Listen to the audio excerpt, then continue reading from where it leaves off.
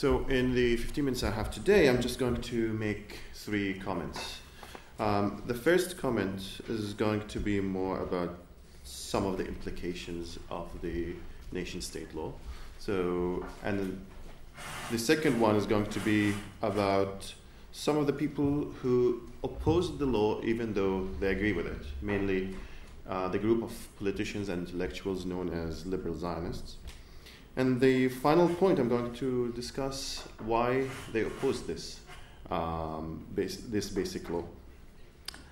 Um, to begin with the act, uh, with the basic law itself, as you know, it's a basic law, which means that it is a constitutional law. It's a law that has the power of a constitution, um, uh, recognized as such by the Israeli Supreme Court.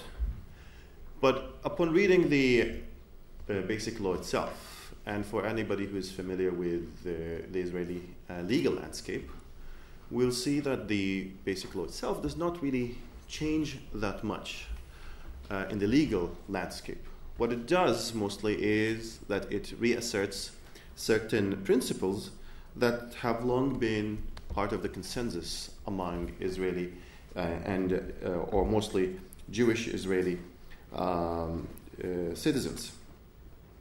And uh, if we can, if we'll take some examples to demonstrate this point, um, we can see that the basic law refers to uh, or declares some of the principles or refers to the, some of the principles in the Declaration of Establishment of the State of Israel, mainly um, the self right to self determination of Jewish people in um, what they call the land of Israel.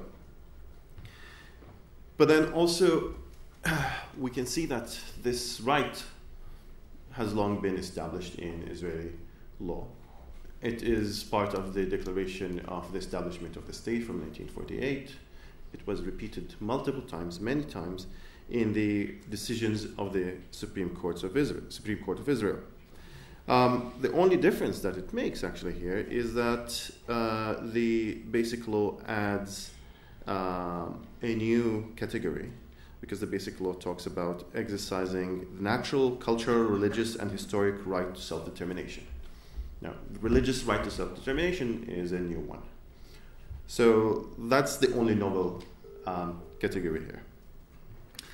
Um, and even if we look at the idea of self determination, we can see that um, in Israeli legal scholarship, in the Israeli legal literature, in the decisions of the Supreme Court, and also in those um, in the writings of those who are known as liberal Zionists, we can see that when they talk about self determination, they mean exclusive self determination of Jews only, which means that in no scenario uh, in the past, the idea of self determination of everybody who lives in uh, the territory of the State of Israel participates in the right to self determination. Another example which demonstrates that there hasn't really been much change is the section that relates to language. Uh, in Israel, um, by um, Israel after 1948 adopted mandatory legislation. So all of the mandate legislation, with some exceptions, became part of Israeli law. That also included um, the sec- relevant sections relating to language. And based on this adoption of uh, the mandate legislation, Arabic was a formal language.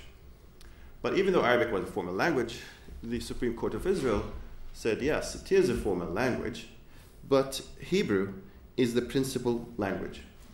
Arabic is a formal language with distinct and added value which means that even though the uh, relevant section in order in the what was known as the Order in Council talked about two formal or uh, official languages, the Supreme Court introduced a hierarchy.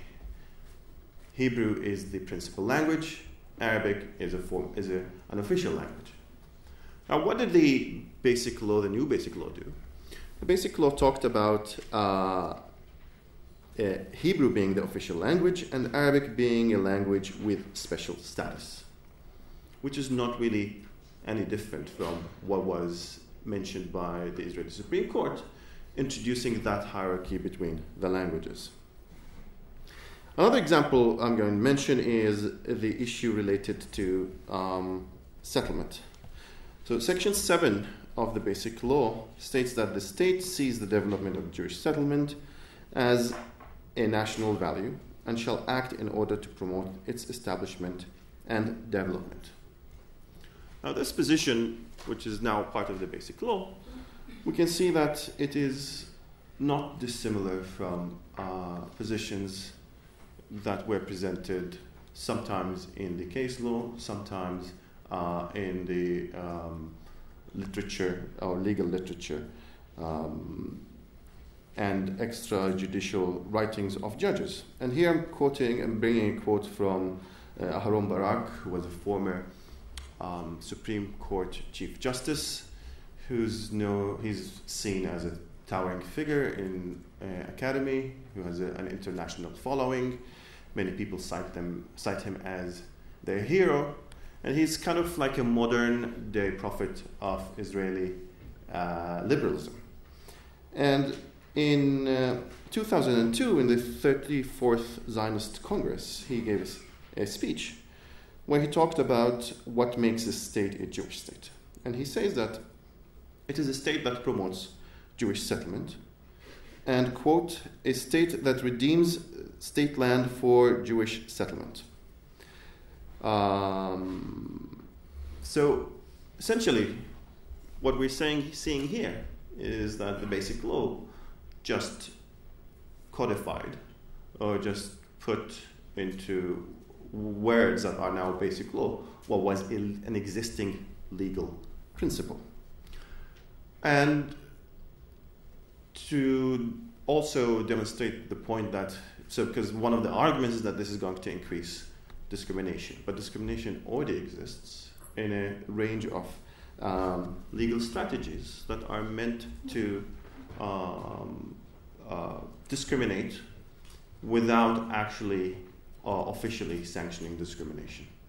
So, and there was one decision in the year 2000 that was uh, that uh, declared um, some sorts of discrimination legal was circumvented by um, legislation in, in, the Knesset. In addition to the fact that the protection that um, this decision declared was not really that strong. So, this is just to make the point that um, if we look at the legal situation before, the constitutional principles before, the enactment of this basic law, and the basic law, we'll see that they're almost identical. So, in legal, in the legal sense, it did not really make a lot of difference. Probably politically, uh, it does, or to some extent also it emboldens people, emboldens judges to take certain positions, but the principles have already been there and have long been there. Now, the second um, point I'm going to make is about um, the category of liberal Zionists, which is uh, a group of politicians and intellectuals um, who, of course, believe in Zionism, but they try to balance the uh, Jewish only right to self determination in Israel with some liberal democratic principles. Um, of course, which is not a, an easy task. It's a very complicated task to balance these two. Usually they end with uh, failure, but then the end goal of the exercises, intellectual exercises that they have, um, is to demonstrate that uh, Israel, despite the fact that it constitutionally favors Jews, the culture, collective rights, and legally discriminates against uh, the Palestinian population, is a liberal democracy. democracy. Now, there are a number of ways that they do this, usually either by comparing to other countries, mostly Eastern Europe, or looking at the idea of uh, equality and then um, analyzing the hell out of it so that equality does not mean equality and discrimination does not mean discrimination, and um, start going in circles um, to get to that conclusion. Um, but uh, the end goal, basically, here is just they want to reconcile the values of democracy and Jewish uh, self determination. Now, most of these people who, sub- who subscribe to this um, uh, worldview were opposed to the basic law. So we have people like uh, um, Yuli Tamir, uh, Amnon Rubinstein, um, and others who are well known in this category who were opposed to it. And even though they're opposed to it, the irony here is that most of these people who are known as liberal Zionists are actually the people who helped establish all of the principles that are now part of the basic law. So if we look at uh, um, uh, people like, for example, um, Aharon Barak. Aharon Barak is probably one of the most important people who uh, established the meaning of what Jewish and democratic means and also tried to insert some liberal values in it. And, um, and even though, as I said, he's seen as you know, modern day liberal prophet, uh, when the first, when the basic law was first introduced in the Knesset, we can see that the uh, member of Knesset who introduced it um, justified the basic law by saying that I'm actually taking text from Barak's speeches. Uh, so we can see how, so that this is one example.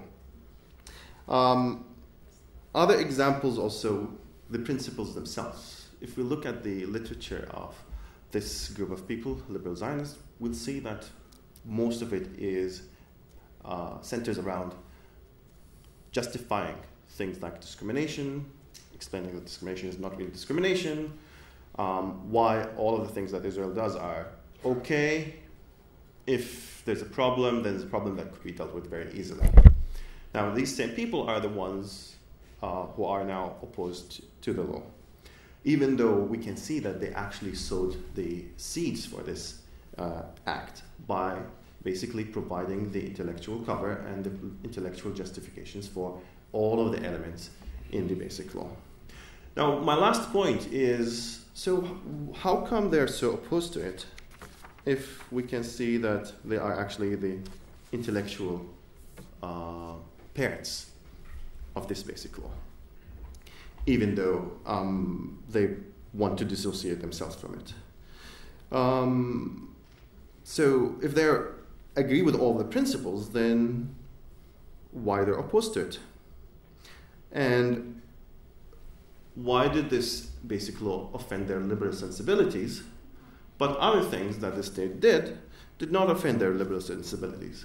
For example, the expulsion of the Bedouin communities uh, in the Naqab. We did not see them being outraged and fighting against it or demonstrating against it uh, when it took place. Um, the uh, acts that prohibit family reunification, we did not see them writing against it. In fact, they were some of the people leading the justification for it. They are the ones who wrote uh, in legal journals, in books, saying that it is okay. We did not see them also um, uh, saying anything about the Nakba. We did not see them say much about the uh, laws that um, uh, said that participation in boycotts uh, are illegal, is illegal. So, one conclusion that can uh, that emerged from their writings is that they're more concerned with image and appearance. So, if we can see, if we take an example, Professor Amnon Rubinstein, who was the president of Tel Aviv University, a member of Knesset, and also a, a minister for about uh, four years, and also probably one of the most important constitutional law scholars in the country. He says, or he, he writes, that everyone who reads the bill understands that it will help BDS, the Boycott, Divestment, Sanctioned campaign against Israel, and increase Israel's isolation in the West and within Jewish diaspora. Another example is Professor Shlomo Avineri of the Hebrew University. Um, who uh, was concerned that this law is going to increase the tension in Israel between Jews and Palestinians, but also added that this will be the cause of significant damage internationally. Yael Tamir, who's also an academic and a former minister from the Labour Party, um, adds that the new, uh, league, uh, new basic law undermines Israel's definition as a democratic state and expands the growing gap between Israel and the Western world. So we can see that um, the main concern is not really uh, the ethno religious and inherently exclusionary principles and also the uh, entrenchment of Israel's um, colonial nature and policy.